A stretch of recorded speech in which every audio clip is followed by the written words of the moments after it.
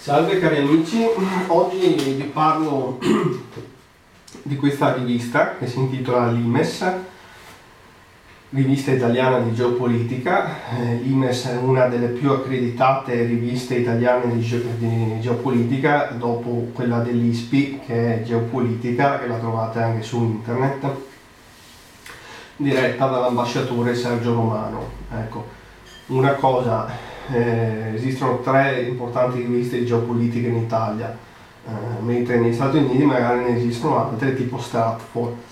Eh, in Italia c'è l'IMES, una delle più accreditate, geopolitica, quella dell'ISPI, eh, diretta dall'ambasciatore Sergio Romano, tra l'altro Sergio Romano scrive spesso anche sull'IMES, dà il suo contributo, e poi c'è East Journal, che è una via di mezzo tra una rivista di geopolitica e un giornale.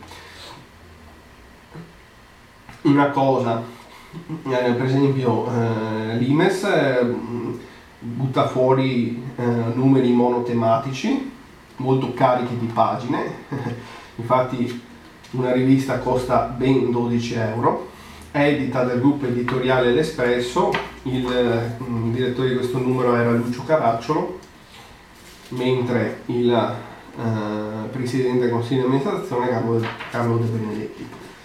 Questo numero risale al 2008, eh, si intitola Progetto Russia, un, un numero monotematico sulla Russia, in cui si parla di Medved, il delfino di Putin, succeduto a Putin e poi, come sapete, è ritornato Putin. Questo numero di questa rivista di Imes mi permette di parlare anche di altre cose perché ci sono due articoli che posso collegare, che vorrei collegare a, alla situazione politica o geopolitica odierna.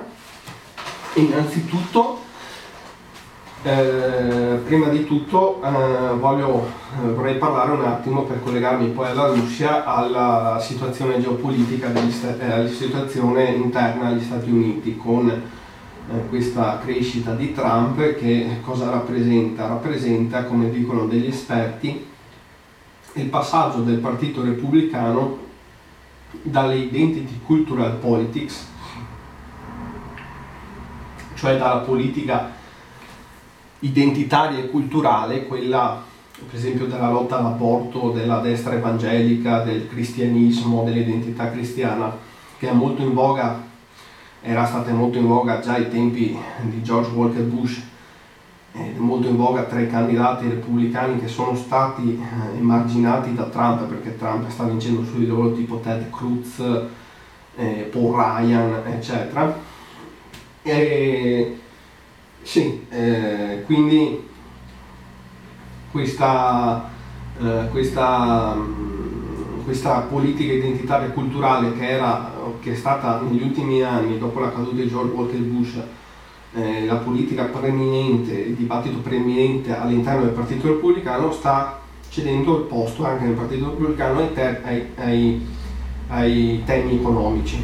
Eh, sì, perché bisogna dire una cosa, ehm, negli ultimi anni il Partito Repubblicano si era concentrato troppo sull'identità culturale lasciando perdere i temi economici dove era in sintonia anche col Partito Democratico, con, sul globalismo, eccetera, l'economia globale, eccetera. Eh, Jeb Bush, per esempio, candidato sepolto da Trump, tra virgolette, nella corsa alla nomination del Partito Repubblicano, eh, per esempio aveva già delle differenze rispetto a suo fratello George Walker che eh, diceva per esempio di, un, di un'alleanza con la Cina, eccetera. E per esempio era più possibilista sul tema dell'immigrazione. Invece Trump, nessuno lo dice, sta ricalcando un po' la politica iniziale dell'amministrazione di George Walker Bush, cioè con forti richiami al nativismo, all'isolazionismo, eh, ai temi economici come il dumping sociale cinese, quindi la lotta alla, eh, alla diciamo così, alla, alla concorrenza cinese sleale, eccetera. Questi temi economici segnano un passaggio evidente e netto, storico, eh, del Partito Repubblicano che si sta concentrando anche su temi cari, che erano cari, non so se sono cari ancora adesso, al Partito eh, Democratico. Eh, questo mi permette di parlare anche della identity cultural politics della Russia. Innanzitutto, negli ultimi anni, con, eh, negli ultimi dieci anni, con Putin al potere, molti stanno parlando di una Russia che sta eh, spostando l'ago della bilancia dai temi delle riforme liberali, eh, quelle eh, avvenute con la perestroica e con Gorbaciov ed Elzin, quelle degli anni 90, a un forte patriottismo anche con una forte identità religiosa. Questo eh, è vero solo in parte il patriottismo naturalmente è un, è una, è un, um, diciamo, un leitmotiv della politica uh, estera russa e quella della forte identità culturale e religiosa russa lascia un po' a, a, a riflettere perché non è proprio così. Infatti ce ne parla, ce ne parla eh, soprattutto questo articolo eh, comparso su questa rivista l'INES del 2008, progetto Russia, a pagina 121 di Viktor Pereden, Perevendechev. Perede, Perevendechev, vabbè, lo pronuncio così, dopo non so come si pronuncia in russo, che parla, e si intitola I russi una specie in via di estinzione e parla dell'invecchiamento demografico della popolazione russa.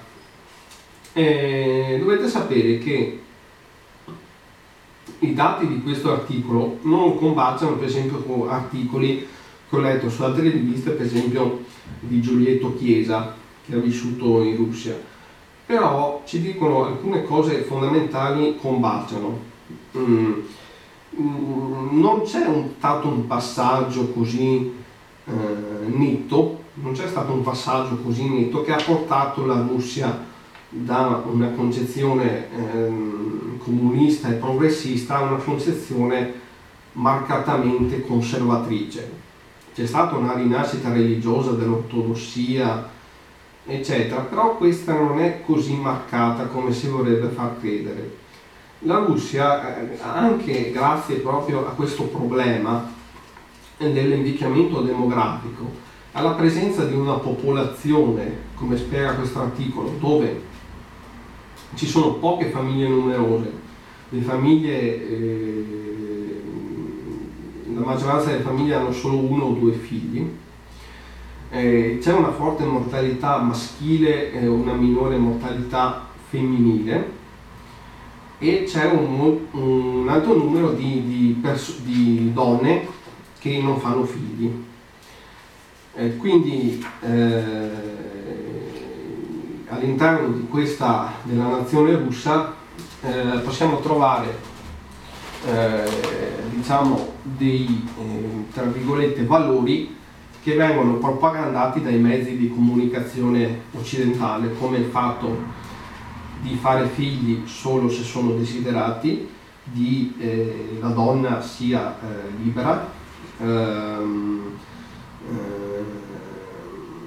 la donna lavori, eccetera. E, e quindi c'è questo interesse soprattutto che dopo si manifesta proprio come interesse anche al tempo libero.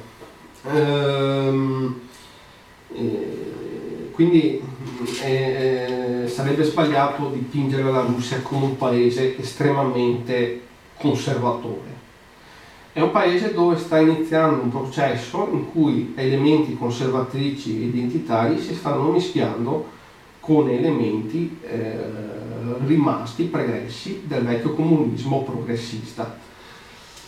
Eh, una, eh, quindi una forte presenza di donne, naturalmente, quindi eh,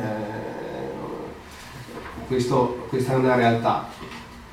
Um, un altro articolo a pagina 131 scritto da Zanna Zayon Kowalska, Kowalskaya, eh, ve lo faccio spelling, Z-A-J-O-N-C-K-O-V-S-K-A-G-A, a pagina 131 si intitola Ci serveranno gli immigrati.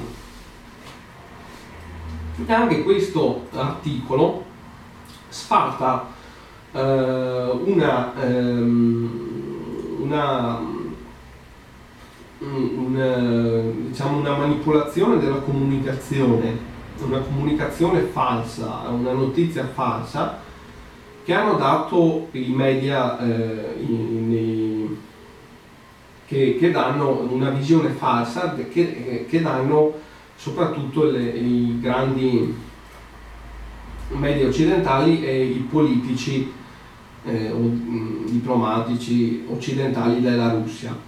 C'era questo articolo che ho ritrovato su cnbc.com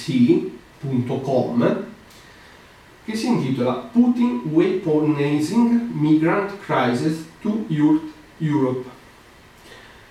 In pratica eh, il eh, comandante della Nato, coordinatore della Nato, Stolter, Stoltenberg, Stoltenberg ehm,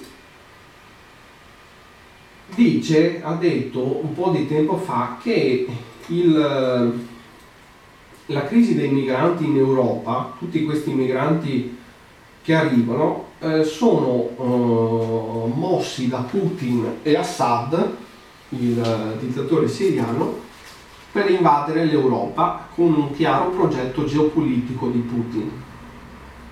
Eh, questa è naturalmente un'informazione molto di parte, eh, anzi non è neanche informazione perché è una grossa falsità. In questo articolo di Limes infatti si spiegano le politiche migratorie della Russia. Con Putin eh, si sono aperte molto le porte all'immigrazione in Russia. Eh, c'è un'immigrazione più libera e si sono fatte delle politiche che hanno eh, favorito l'assunzione e la regolamentazione dei migranti e il fatto che devono avere una casa, eh, eccetera, e quindi la regolarizzazione.